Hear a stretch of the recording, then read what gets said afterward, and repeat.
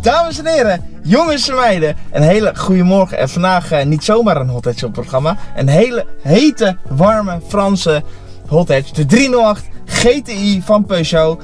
En eh, voor onder de motorkap een 1.6. Goed voor 262 pk, 340 Nm aan koppel. Maar het meest belangrijke van allemaal, een handbak. Als je mij zou vragen wat alle hot hatches van de vorige series hebben gemist, een handbak. We hebben alleen nog maar automaat gereden tot nu toe, maar deze dus alleen verkrijgbaar met de handbak. We hebben zes versnellingen, puur genieten. En ehm, ja, een hele andere auto ten opzichte van al het andere wat we tot nu toe hebben gereden. We hebben een kleine stuurwiel, we hebben een hele andere display. We hebben hier natuurlijk een andere cockpit. En de stoelen. Laten we daarmee beginnen. Ik heb echt nog nooit, denk ik, in zulke fijne stoelen gezeten. Ze hebben goede support bij de schouders. En nogmaals, we hebben drie pedalen bij mijn voeten. Nou, we hebben weer een mooie weg uitgekozen. En eh, er is één knop, daar gaan we later op terugkomen. En dat is de sportknop.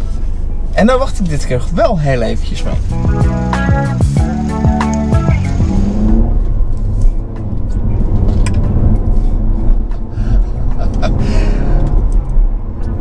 En het leukste van allemaal, ondanks dat je toch zou denken van achterwiel aangedreven, dat is leuk. Op de een of andere manier, het voorwiel aangedreven van deze auto is zo uniek en zo speels.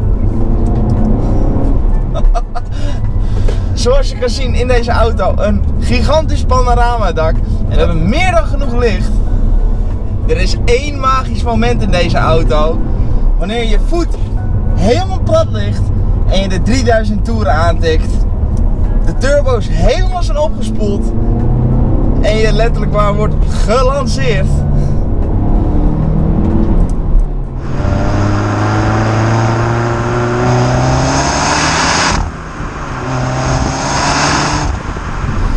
Ja, en als je eenmaal onderweg bent, ik zeg heel eerlijk, ik moest echt wel wennen aan de koppeling. Zeker in de eerste versnelling. Het aangrijpingspunt was in het begin heel eventjes zoeken. En daarom ben ik onwijs blij dat ik deze auto ietsjes langer mee mocht nemen van Peugeot.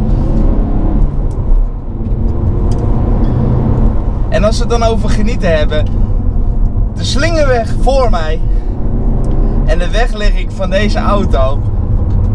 Het is echt iets wat me verbaasde. Voorwiel aangedreven. Maar het is op de een of andere manier zo anders dan wat je tot nu toe hebt gereden. Het laat je echt spelen, het laat je glijden, het laat je doen. En op het moment dat je dan denkt van nou, nu ga ik te ver, ik ga iets van het gas af. Dan wordt de auto neutraal en dan kan je weer door. En het is gewoon super leuk. Het is super leuk, maar vooral echt super snel. De stuurinput is heel erg direct.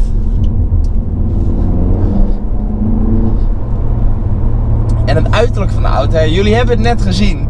Het ziet er ook echt wel gewoon bruut uit.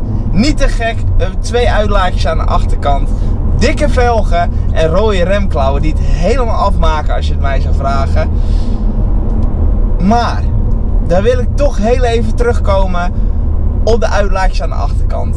Het zijn best wel flinke dingen, zoals je hebt gezien. Maar op het moment dat ik hier terugschakel en ik kom boven de 3000 uit, dan zou je denken: er gebeurt iets. Er gaat iets komen van geluid.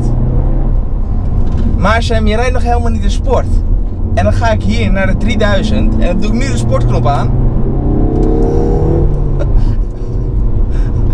en dan komt de auto tot leven inderdaad. Maar via de speakers.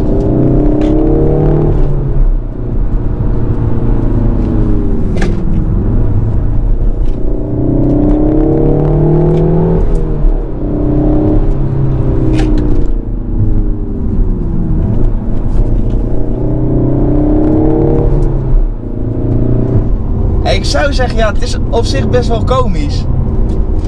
Je loopt in een, een kip over de weg. Een volkomen ander punt dan wat ik wilde vertellen. De auto wordt ietsje sneller, de turbo's blijven ietsjes hoger. Maar ondanks dat je van binnen, ja, dus die sound oprecht over de speakers hebt, hoor je van buiten bijna niets.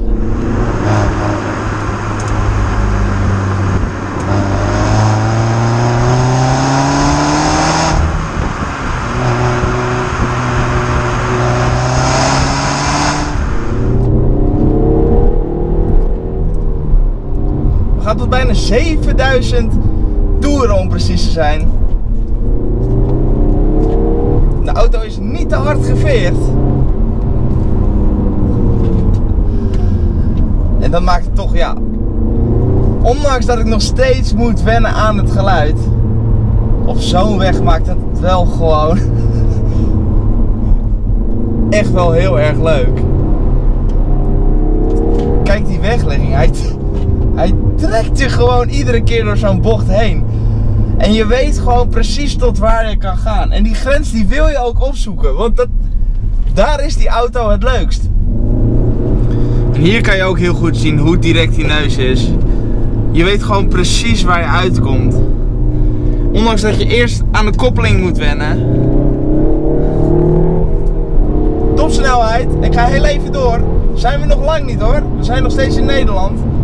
250 km per uur. En als dat zo voel, ja, begrensd. En dat vind ik toch wel bizar om te zeggen. Uit een 1.6 turbo blok. Ik heb hier met verschillende mensen ingezeten. Ze zeiden allemaal van. Op het moment dat die turbo's opkomen in die auto, dan, dan gebeurt er iets. En dan word je gewoon oprecht gelanceerd. Een soort Space Mountain. Een soort Python in de Efteling. En zeker met dit geluid. het is wel echt gewoon een hele leuke beleving. En een leuke auto om in te rijden. Ja, en dit lijkt me toch ook wel weer een geschikt moment om even de 0 naar 100 te doen. We gaan naar sport. Zoals je kan zien, je moet heel even wennen aan de tellers, maar daar gaan we.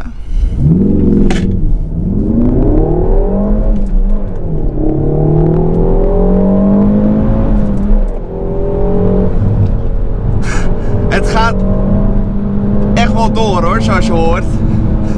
En het mooie van dit allemaal is, als je dan doorrijdt, als je dan echt in het begin hoog in die toeren rijdt, in de eerste drie versnellingen, dan voel je echt dat die je is aangedreven. Dat hij een beetje zoekende is wat hij allemaal kan en wat hij allemaal kan wegkrijgen.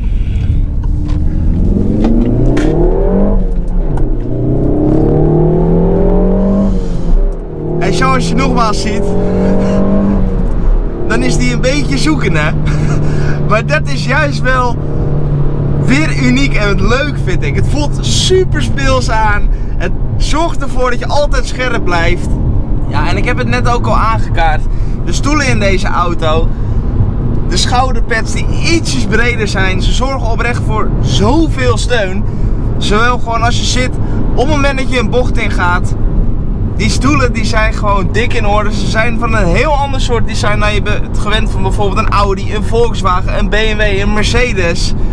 Ze hebben leder gebruikt, ze hebben een kunststof gebruikt, een soort van Alcantara gebruikt. En sowieso het design ervan. Ja, ik ben een fan van. Smaak verschilt natuurlijk, maar nogmaals. De functie van de stoelen, die is gewoon echt on point.